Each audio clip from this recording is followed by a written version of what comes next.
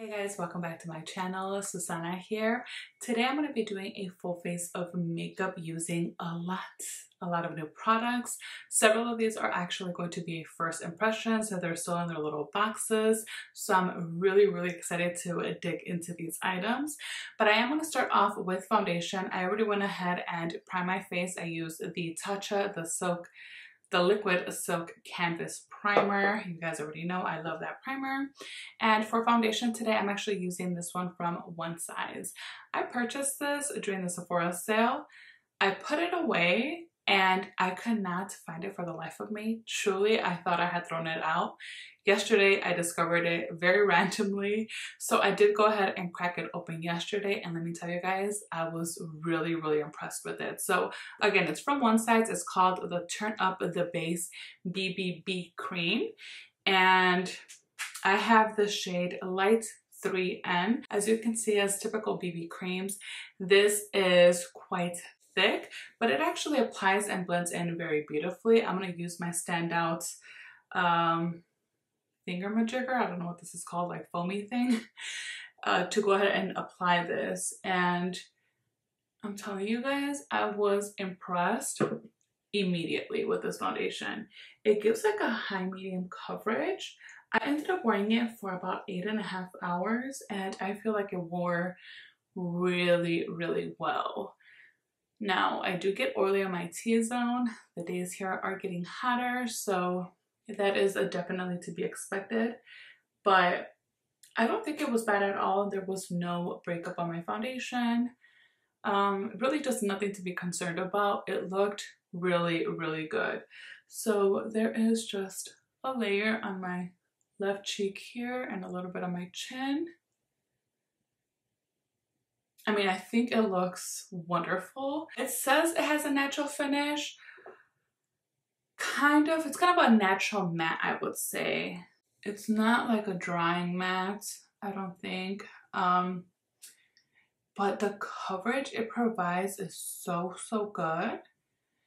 And yeah, you guys, I mean, again, I just used it once, but I was highly, highly impressed.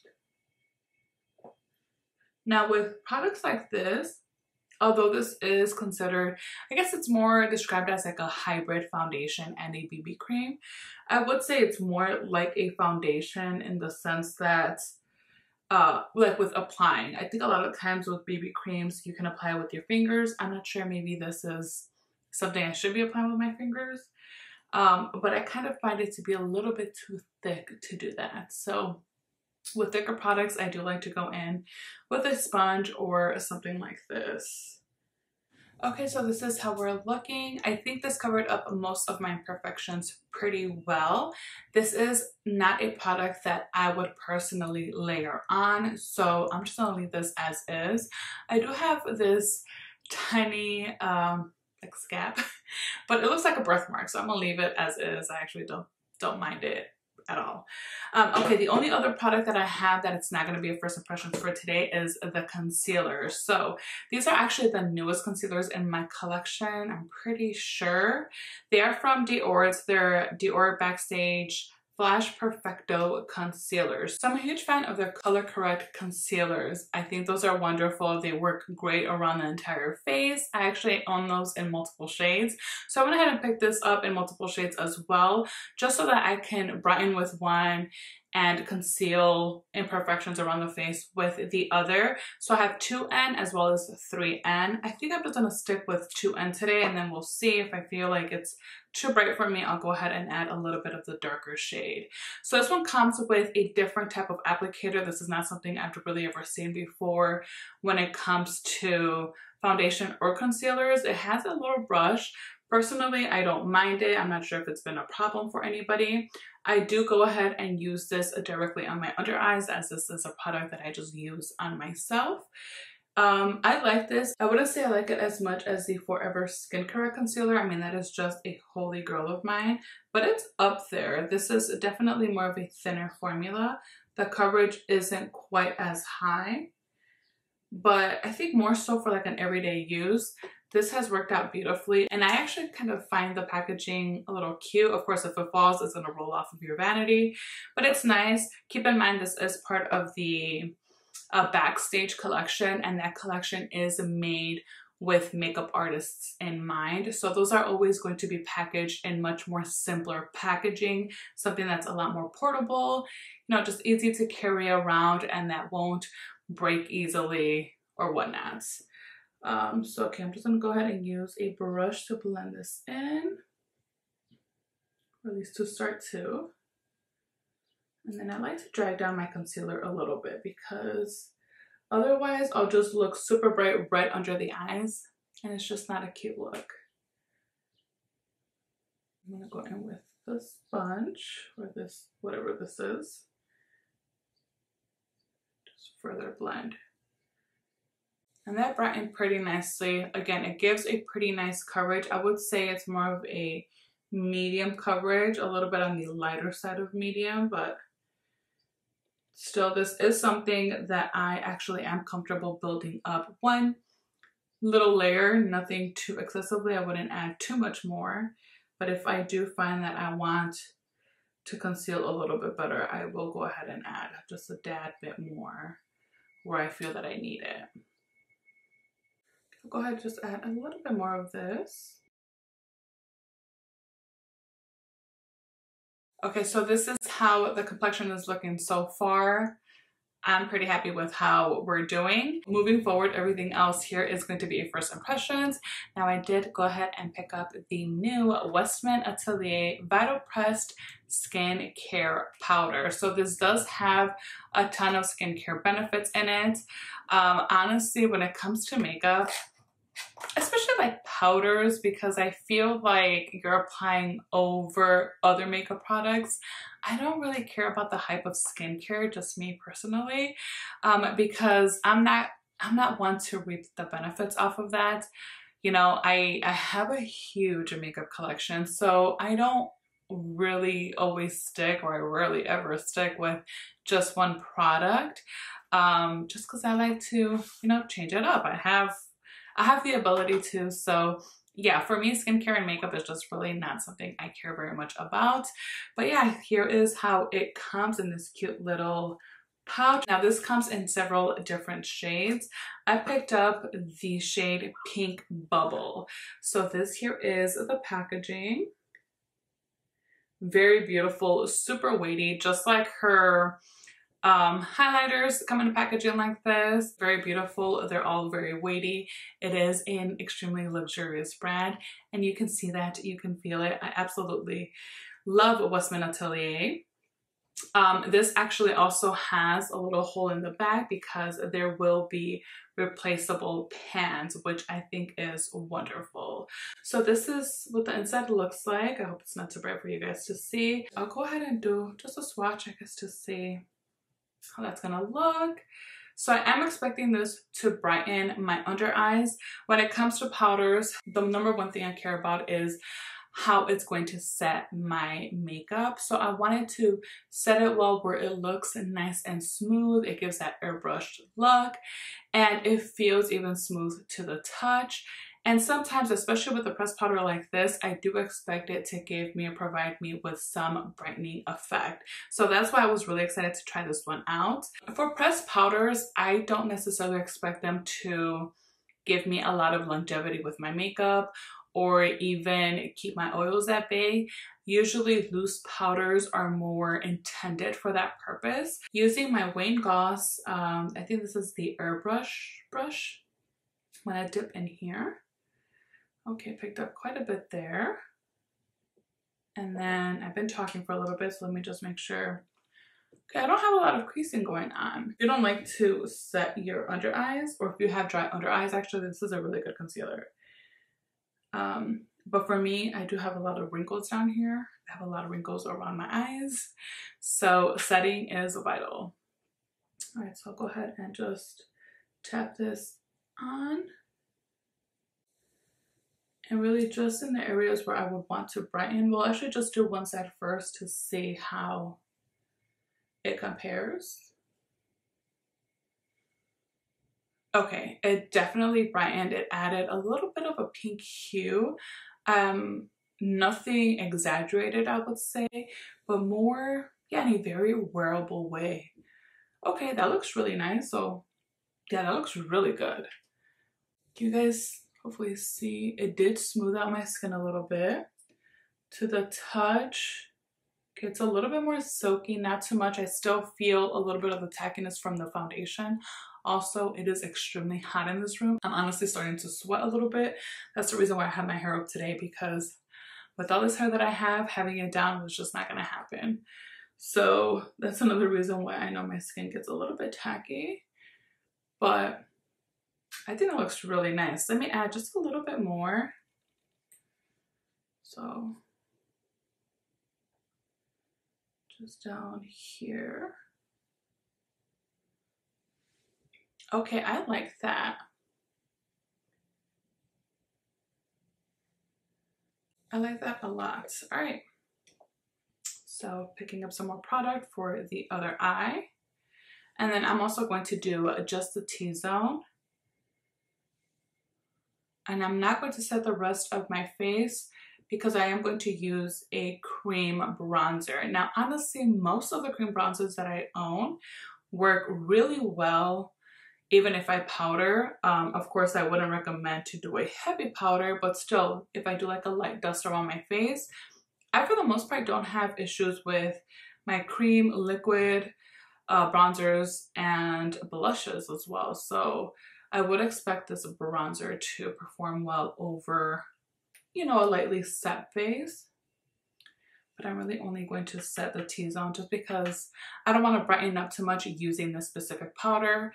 Um, depending how it performs, maybe I'll pick up the shade Creme, I believe.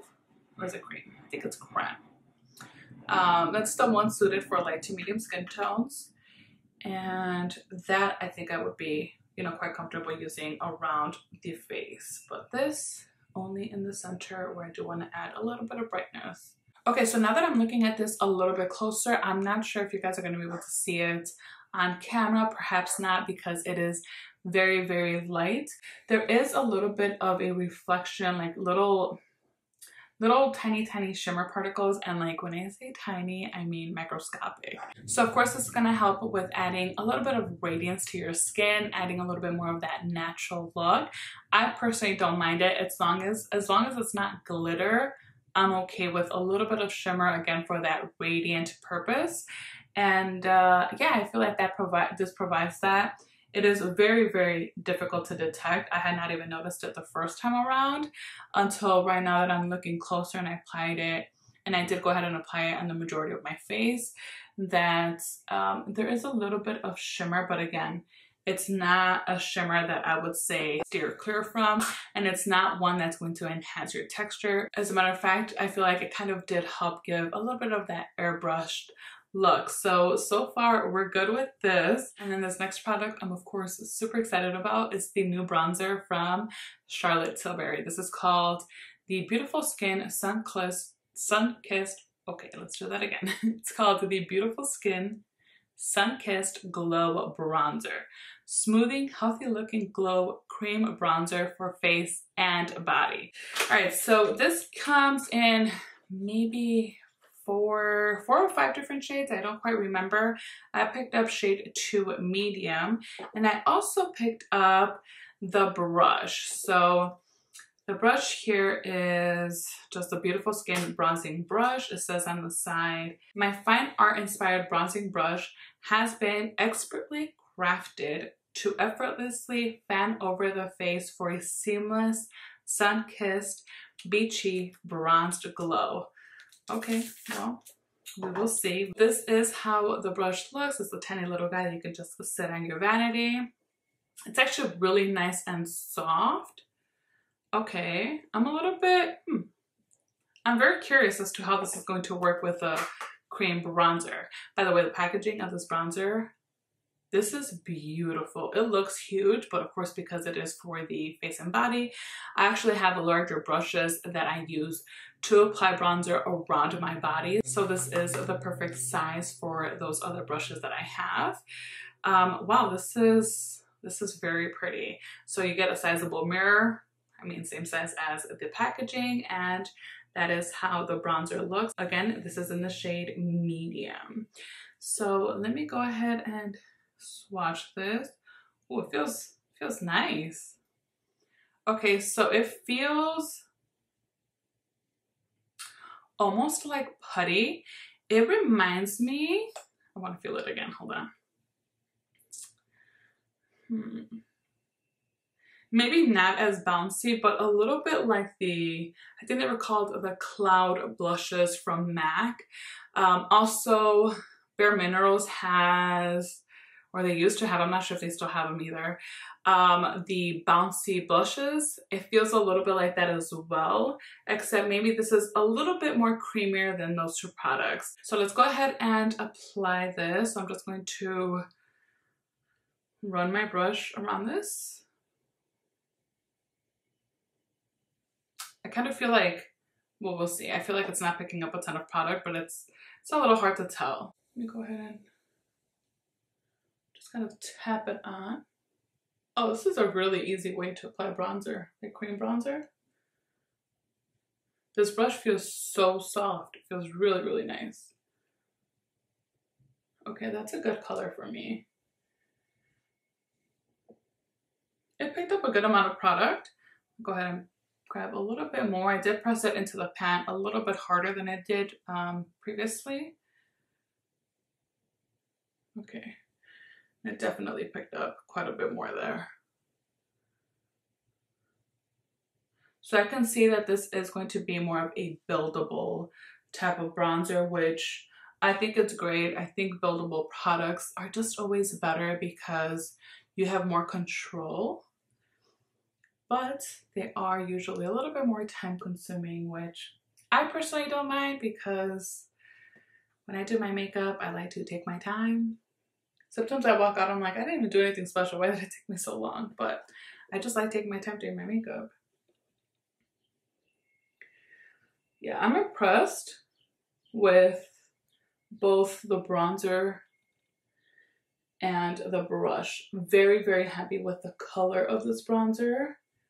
It's just adding a nice warmthness to my face. It looks very natural. It doesn't have, it's like a matte, it's a matte finish. So it's not going to provide a glow in the sense that the powder has, again, those small uh, shimmers. This does not seem to have that, but I think just the finish is so natural and kind of just melts right into the skin where your skin looks healthy and glowy. I mean, that's how I feel like my skin is looking right now. Like I am utterly happy with the shade. And you guys, I have a ton a ton of cream bronzers that I love. So I I'm excited to get to know this product a little bit better as well, just to see how it's gonna compare with my other cream bronzers. Maybe that's another video I can do too, is where I just rank all my cream bronzers. By the way, I know um, NARS came out with their Laguna cream bronzers again. Um, this one actually this guy, they actually came out with several different shades this time. Last time, I think they only had uh, two shades. It was Laguna and I forgot which other one. Um, this is so, so wonderful. Love it, but it's very different to what we're using today. So maybe I will do a video comparing and ranking my bronzers, but I just wanted to let you guys know if you've been interested in that NARS cream bronzer, they're back.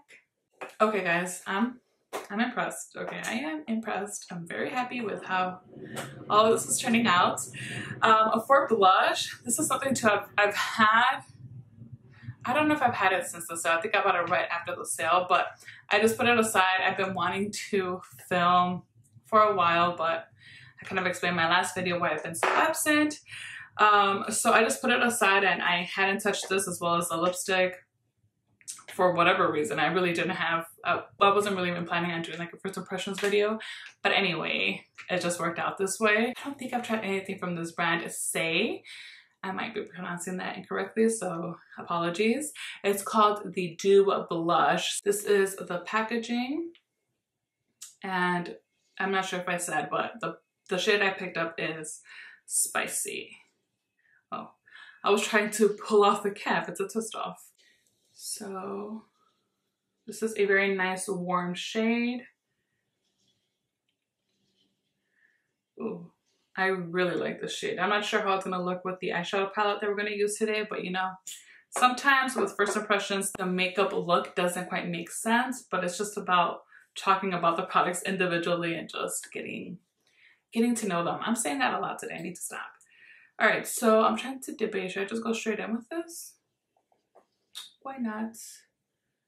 So just, I don't know how much of this I need.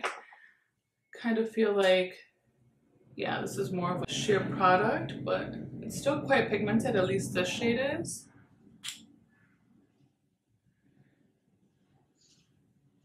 And yeah, with these type of blushes, I don't find that I need highlight anyway.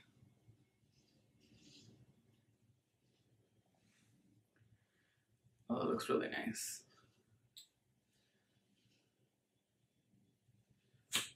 I kind of wish, I like the shade, I'm not gonna lie, I think it's pretty.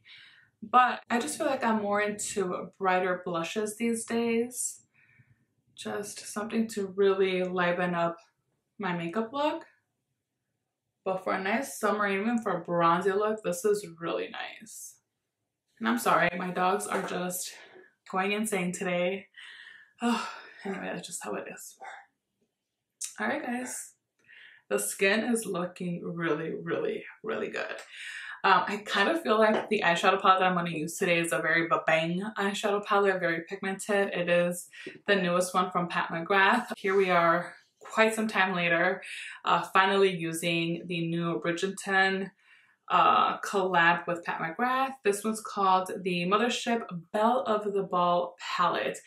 I'm gonna be honest, I only bought this, oops, because I really, really loved this shade. I just, the swatches of this shade just completely took my breath away. I'm not sure what I should do today because now I feel like if I do that gold eyeshadow, um, it's gonna be too much with this fresh looking skin. You know what, we'll just play with this eyeshadow palette and see, see what comes out of it. So first things first, a little bit of primer. Actually, let me do some swatches for you guys, sorry. I'm just assuming you all have seen this palette a gazillion times. You probably have, but if just in case not, or since it probably has been a while now, uh, y'all are probably interested in some swatches, and I myself have not swatched this.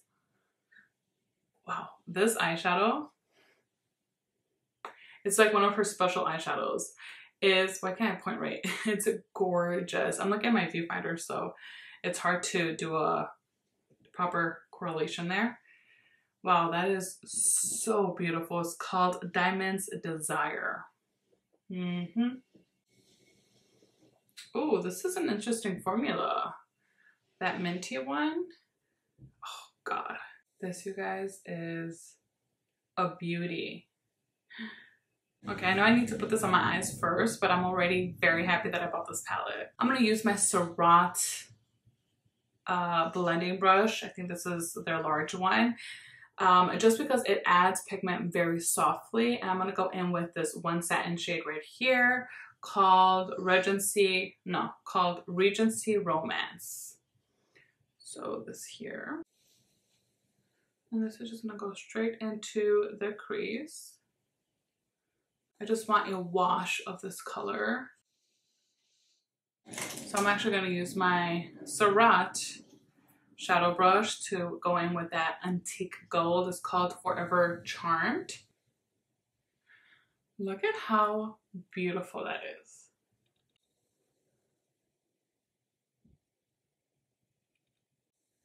And a little bit goes a long way. I mean, her eyeshadows are really great, especially her shimmer shadows. Her mattes, I find they're good. They can be a little bit more difficult to work with, especially if you're a newbie with makeup. But her, her shimmers, her metallics, like these special shades, are just a dream. Okay, you know what? With the same brush, let's go in with this beautiful shade. No, here, this one right here. These can have some fallout, so be careful with that. I'm just gonna go ahead and apply this in the center. I'm gonna go in with that minty shade called Daring Dang. This one right here. And this is going to go in the bottom lash line. Definitely 100% use this palette prior to doing your face makeup because I do have quite a bit of fallout now I am seeing glitter on my face. So that is something to keep in mind. Now into this shade here called Refinement. I'm gonna do the inner corner, add a little bit of highlight there. And okay, I'm gonna go ahead and curl my lashes, apply some mascara, finish off my eyebrows, and then we'll be right back to do the lipstick. Alright guys, so now for the final step, lipstick. So I picked up the Natasha Denona I Need a Rose lipstick. There's a voluptuous cream lip color. I have the shade 20P, which is Peony. And, ooh, this is very nice packaging. So I haven't tried any of her lipsticks in a very, very long time. I know she came out with like a nude collection. I do not recall the name. The shade that I picked up in that collection, I did not like much, so I don't really ever reach for it. Um, but this one really, really intrigued me. Um, I have, I love lipsticks, you guys. I'm trying not to buy so many because I have such a huge lipstick collection and I currently decluttered a ton. I'm just gonna go straight in with the lipstick just because I wanna know how it looks on its own. Um, in the future, I'll probably pair it with a lip liner.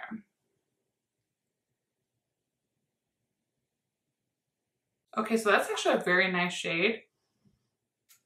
I love the scent of these. Love the packaging. The formula feels really nice and comfortable. I think I'm actually going to go ahead and apply a little bit of lip liner just kind of over top because it is too light for me and I feel like it's not it's not looking quite right but I do like the shade so I have the Pat McGrath uh, Suburbia liner alright guys so here is the final look truly truly I was gonna go and you know pick up each product and give you guys my first impressions on them like uh, you know a little mini review. But I don't I, I don't think I need to. You know I liked all of this. Um honestly I loved it. I love how the look came out overall. I was a little bit afraid that the eyeshadow wasn't to work out with the rest of my makeup but I actually think it worked out really beautifully. This eyeshadow is gorgeous. I'm loving how my skin is looking. Very nice and healthy. Again, if you guys see any glitter, it's from the fallout from the eyeshadow. Uh, so that's the only downfall, but that's that's just how her special eyeshadows work. If you want to get this kind of gleam um, on the eyes, if you want to get this kind of just beautiful, beautiful shimmer, you're gonna have to deal with a little bit of fallout. So that's just how the game works sometimes. But I think it's wonderful. Um, I'm happy with everything. Love the foundation, love the bronzer.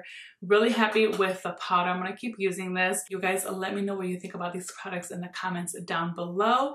I'm definitely planning on doing a follow-up video fairly soon. So I will keep, I'm gonna keep these items out of my vanity so that um, I continue to reach for them. But because I haven't been filming doesn't mean that I haven't been using makeup. So I have quite a few products that I just want to talk about and share my thoughts with you guys. So I'll make sure to also include what I used today to share with you guys my final thoughts and just how they've continued to work out for me. So alright guys, and that is it for today's video. Thank you all so much for joining me. If you like this, please make sure to give me a thumbs up and if you have not yet, subscribe to my channel. Thank you guys so much for spending some time with me today. Until next time.